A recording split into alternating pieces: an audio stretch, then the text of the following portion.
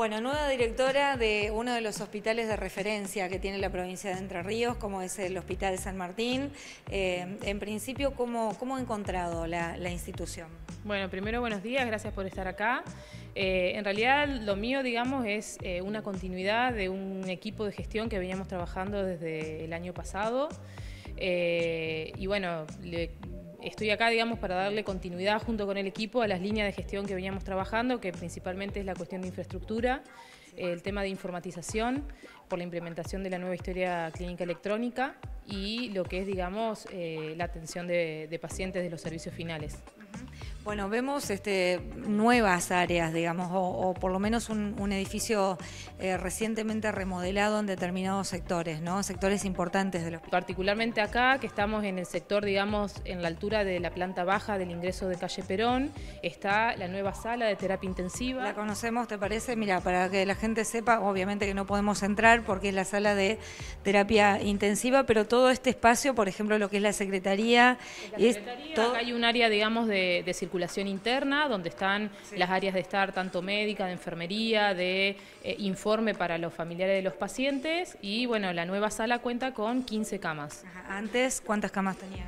En realidad eh, tenía 12 eh, camas, y tenemos eh, anexado cuatro habitaciones que son eh, habitaciones de postoperatorio, que eso va a ampliar, digamos, la capacidad de la terapia a 19 camas. Bueno, si seguimos caminando, por ejemplo, por, por este pasillón, lo que tiene, ¿no?, de, renovado es... Eh, conecta dos, sectores, digamos, de, la estructura vieja del hospital que por 45 años permanecieron los viejos túneles de chapa.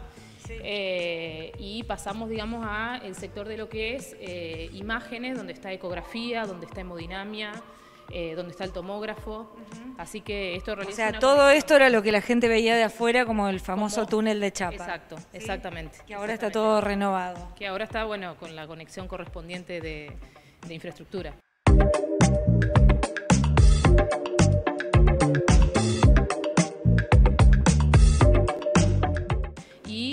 Acá lo que se hizo fue el traslado del sector ambulatorio del servicio de hematología con su laboratorio correspondiente. Acá es la cuestión del servicio del hospital para lo que es la, eh, respuesta asistencial.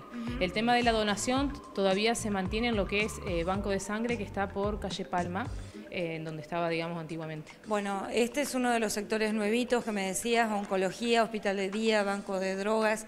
Qué importante esto para, para el hospital. Sí, la verdad que sí, la verdad que, bueno, ha permitido, digamos, modernizar la parte de infraestructura.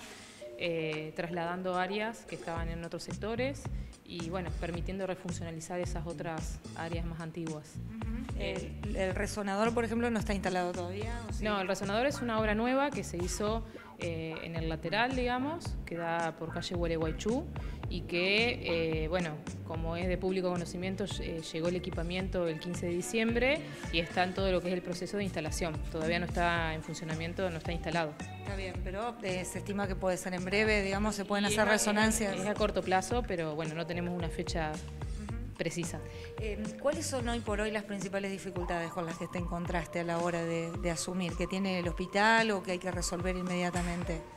Mira, en realidad el hospital es un hospital, digamos, de referencia a nivel provincial en lo que es salud pública y sí ha habido, eh, viene habiendo en el último tiempo un aumento, digamos, en la demanda por, eh, bueno, por cuestiones por ahí externas que, atravesamos a nivel social, económicas y políticas que hacen que por ahí se han incrementado mucho lo que es la cuestión de eh, los costos para los pacientes, aún con obra social, o bueno, gente que por ahí ha tenido que rescindir la cuestión de, prepagas, todo eso se absorbe en el hospital.